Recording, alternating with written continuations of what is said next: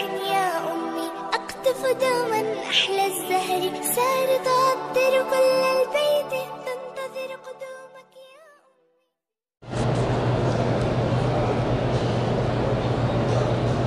أمي. مسجد مدینہ منورہ میں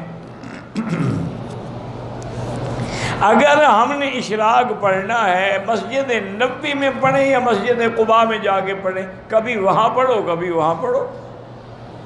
دونوں ثواب حاصل کرو۔ احرام کی حالت میں غلاف کعبہ کو ہاتھ لگا لیں، ہاتھ پہ خوشبو لگ جائے تو دم تو نہیں پڑتا۔ اچانک لگ جائے، تھوڑی لگ جائے، پھر دم نہیں پڑتا۔ لیکن فوراً دھو ڈالو۔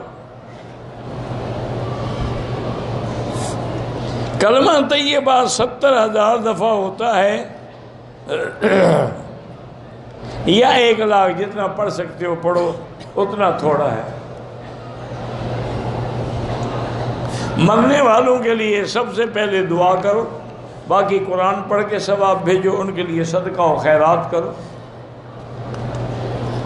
وہم سے نکلنے کے لیے کیا پڑھیں؟ لا حول ولا قوت الا باللہ۔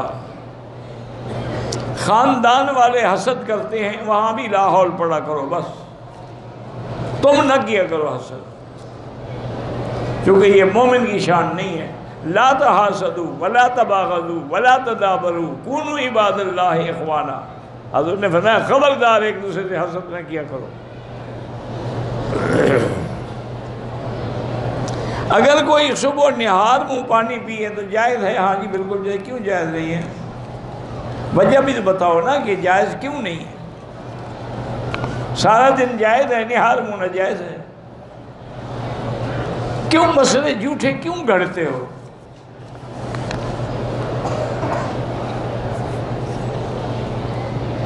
مولانا قاری افتخار صاحب نے سلام کا اللہ ان کو جزائے خیر دے علیہ السلام ورحمۃ اللہ۔ میں آپ کے لیے دعا کرتا ہوں، تندرستی کے آپ کو اللہ جزائے خیر دے۔ لیکن میرا خیال ہے آپ دعا نہیں کرتے۔ دعا کرتے تو میں ٹھیک ہو گیا ہوتا۔ یہ رسمی دعا ہے۔ ہاں جی ہم آپ کے لیے دعا کرتے ہیں۔ کب؟ یہ یاد ہی نہیں ہو سکتا بارہ جو مرضی آئے کریں۔ میری بیٹی پر جن یا کسی کا اثر ہے، اپنے کو چاقو مارتے ہیں، نہیں آنے دیتے ہیں۔ پہلی بات تو یہ ہے کہ میں نہیں مانتا کہ کوئی جن ہے۔ تم نے اس کی شادی نہیں کی ہوگی تو اس کو جن نے تو آنا ہے۔ شادی کر لو، بھوت آئے گا، گھر میں جن نکل جائے۔ یہ عورتیں پھر اسی طرح کرتے، کسی کو قریب نہیں آنے دیتے۔